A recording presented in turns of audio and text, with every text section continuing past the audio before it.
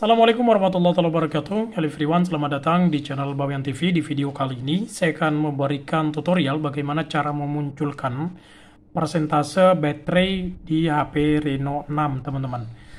Nah sebelum kita lanjut kepada video tutorialnya jangan lupa untuk klik subscribe dan tekan tombol loncengnya agar anda tidak ketinggalan dengan video-video terbaru dari Bawian TV Buat yang sudah subscribe saya ucapkan terima kasih. Oke teman-teman kita lanjut ya kepada video tutorialnya. Nah memberikan persentase di baterai di sini teman-teman. Ya manfaatnya adalah kita bisa waspada terhadap uh, apa istilahnya sisa baterai yang ada gitu kan.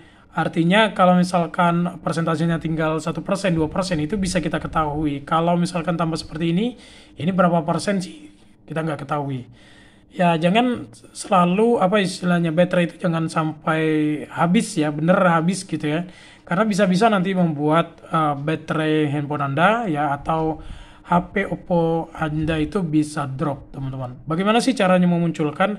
Caranya gampang banget yaitu tinggal Anda buka setting.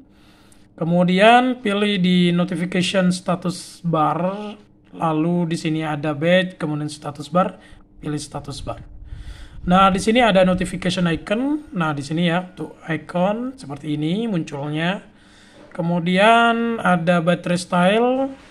Ini bisa seperti ini, ada horizontal, vertikal, ada seperti ini ya teman-teman ya. Nah, kemudian ada baterai persentas, percentage ya. Nah, di sini untuk persentase baterai. Nah, di sini ada dua, ada tiga pilihan ya teman-teman. Ada inside battery icon. Nah, di sini ada seperti ini, baterainya ada persentasenya ada di dalam. Outside battery icon, nah seperti ini. Nah, kalau saya biasa menggunakan yang ini teman-teman. Nah, biar tidak terlalu makan space di bagian status bar ya. Nah, oke kita lihat di sini. Oke, nah di sini udah muncul ya teman-teman. Berarti ini tinggal 45%.